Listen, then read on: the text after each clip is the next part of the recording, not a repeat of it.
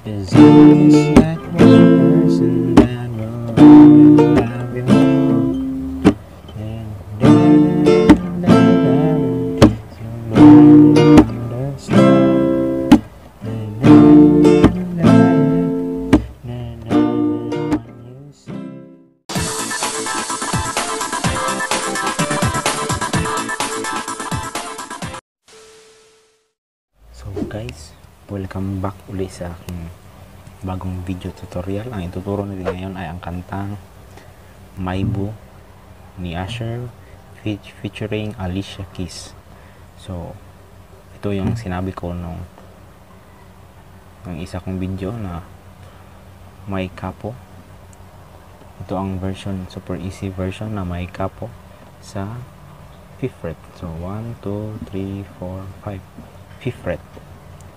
So, um, so bago tayo magsimula guys, ah, ulitin, ah, subscribe kayo, like, subscribe, at hit the notification bell para updated kayo sa mga bagong videos natin. So, ang tututugan muna natin para makita nyo. Okay? There's, there's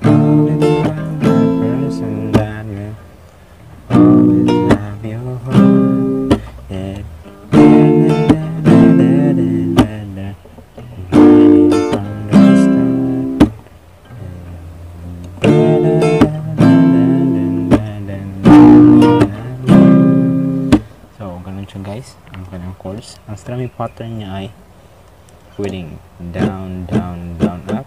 Rin down, up, slap, down, slap. So, ang chords niya ay A minor, E minor, F, F. Kung nahihirapan kayo sa F, ah, ipitin nyo lang tong dalawang string. First at second string. Tapos, itong third string at saka fourth string. So, wag niyo batunogin tong dalawa. Tapos, G. So, ang strumming niya ay tututugan natin yung unang strumming niya na walang slap. So, it's always right the person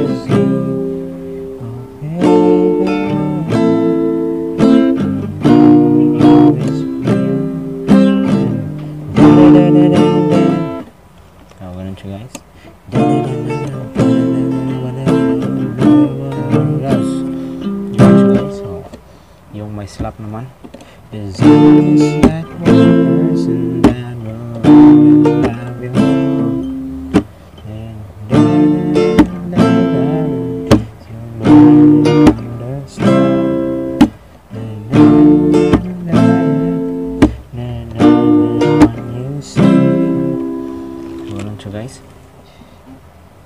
Up slap, down slap.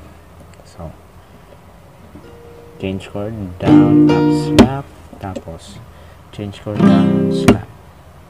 So, tututugan natin ulit para makita nyo. Eh, sabay, pwede nyo akong sabayan ha.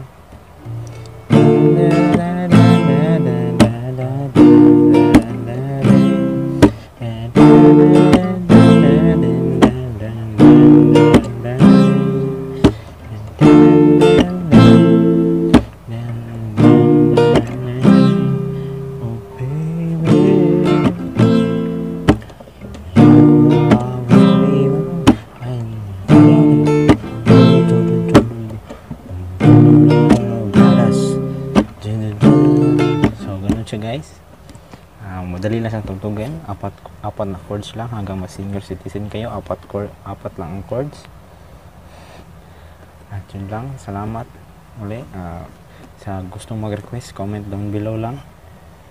At asahan mong mag yun lang. Maraming salamat. Bye.